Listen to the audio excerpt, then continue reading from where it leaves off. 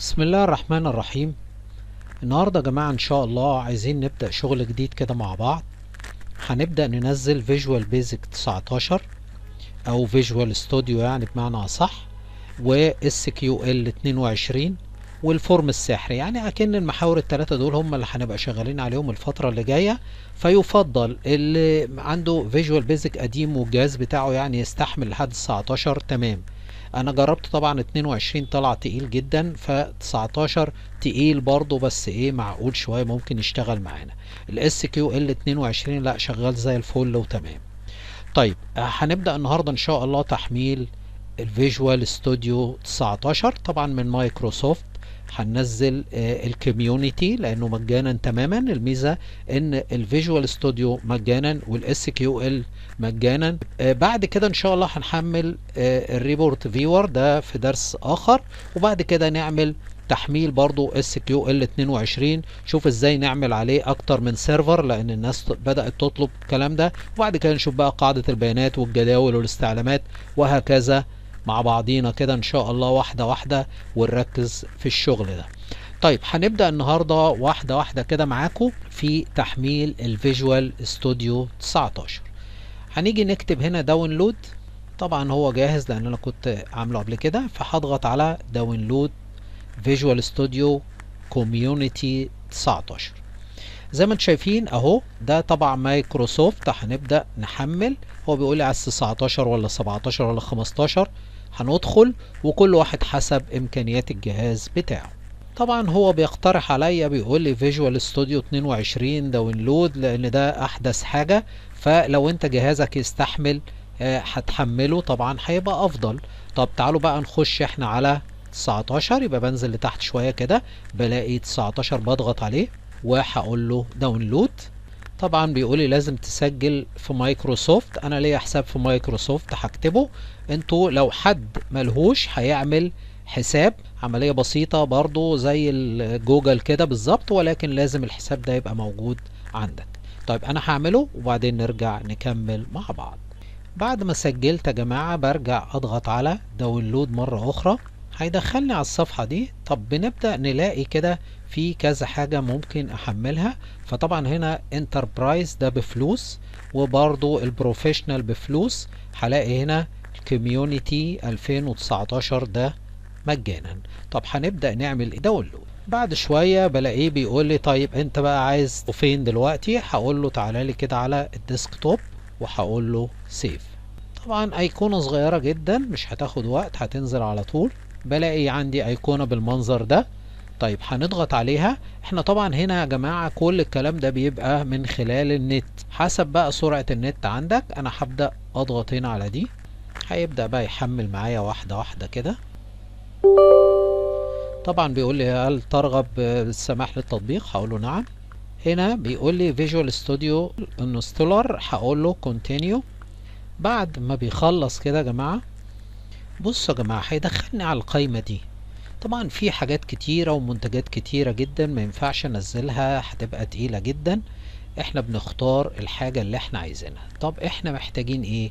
بصوا كده شايفين ال .NET desktop development. هي دي اللي أنا عايزها مش عايز أكتر من كده. هبدأ أضغط عليها. بيقول لي دي الحاجات اللي أنت عايز تنزلها عايز تزود فيها حاجة. لو أنا حبيت أي حاجة بزود من هنا عليها بقول له لا أنا مش محتاج كفاية أول حد كده. فبيقول لي طيب دول هيعملوا خمسة جيجا. فهقول له إيه؟ install هيبدأ هو بقى يحمل كده واحدة واحدة مع نفسه. بسيبه براحته خالص لحد ما يخلص. وبعد كده إن شاء الله أنا طبعا هوقف التسجيل بياخد راحته خالص. أنا نزلت ويندوز مخصوص جديد يا جماعة عشان أشرح لكم الكلام ده واحدة واحدة كده ونبدأ صفحة جديدة مع بعض. بعد ما يخلص هنبدأ نكمل مع بعض. طبعا يا جماعة هو كده قرب خلاص خالص. آه وهو بيحمل بقى أنت خلي بالك ساعات بتلاقيه بيتنح شوية كده ممكن يتنح له بالربع ساعة بالنص ساعة. مش في دماغك. سيبه براحته خالص. طالما ما بيقولكش النت فيه مشكلة ولا حاجة سيبه لحد ما يخلص خالص. في ملاحظة كمان يا جماعة وهو بينزل ال Visual Studio 19 ده بينزل معاه framework 4.7.2 على أساس إن إحنا لو ما حملناش ال Visual Studio 19 وجينا بعد كده نحمل ال SQL Server 2022 ممكن ألاقيه يطلب مني ال framework ده فبنزله برضو عادي من مايكروسوفت عادي. بكتب download .NET 4.7.2 ينزله لي برضو عادي خالص ومفيش مشكلة وبسطبه عادي خالص. طبعا هنا هو بعد ما خلص يا جماعة بيطلب مني restart فهقول له restart وبعدين نرجع نشوف مع بعض. بعد ما عملنا restart يا جماعة هروح أفتح ادي ويندوز في البداية نعمل توسيع.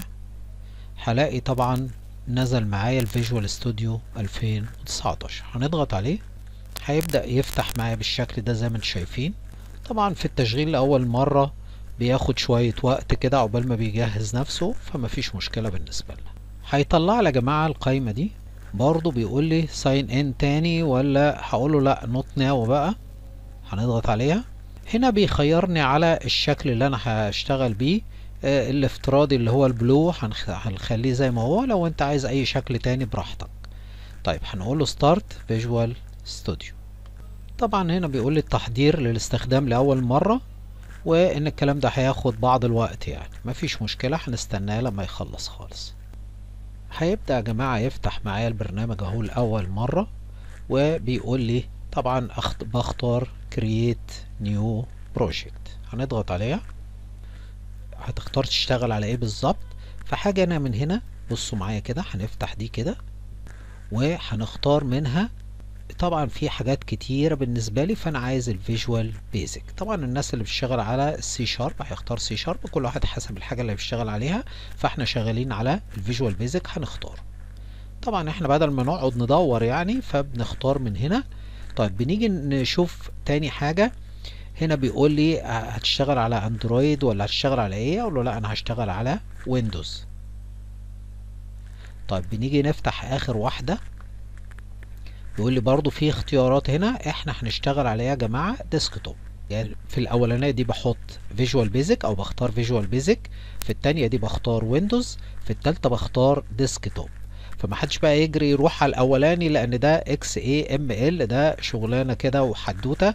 لا إحنا بنشتغل على ده اللي هو Visual Basic Windows desktop هنضغط عليه وهقول له next طبعا بيقول لي هتسمي التطبيق بتاعك ده إيه أو هتسمي البرنامج بتاعك إيه.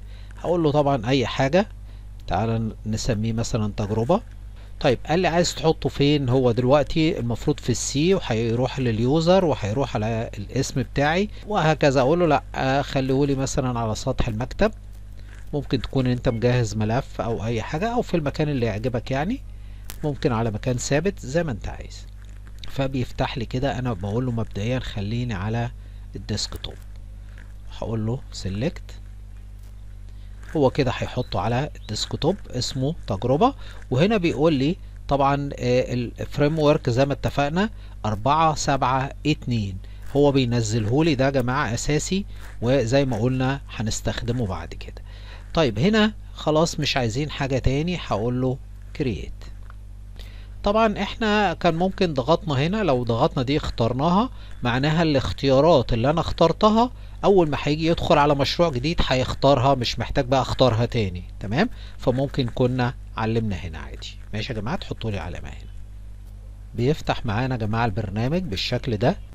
لو فتحنا يا جماعة ال toolbox مش هلاقي ال report viewer ماشي؟ زي ما أنتم شايفين كده مش موجود.